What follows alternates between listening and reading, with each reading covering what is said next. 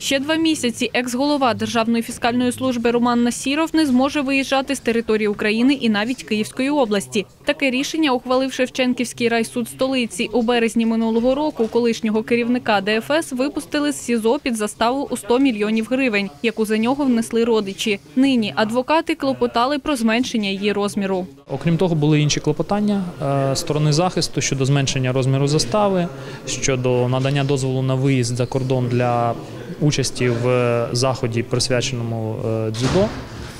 Е, У обох цих клопотаннях е, судом було відмовлено стороні е, захисту. За даними НАБУ, у період з травня 2015 року до березня 2016 року Насіров ухвалив низку незаконних рішень. Йдеться про розстрочення платежів за користування надрами для компаній, задіяних у так званій газовій схемі Онищенка. На думку слідства, екс-очільник ДФС діяв в інтересах нардепа регіонала, нині втікача, коли дозволив податковий борг. Насірова затримали у березні торік.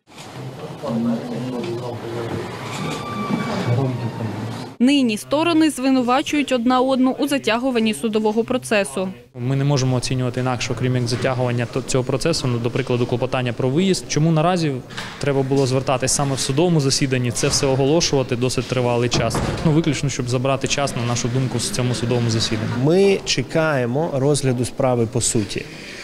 Замість цього, наприклад, так як сьогодні, ніякого розгляду по суті не було. Не було навіть оголошення обвинувального акту.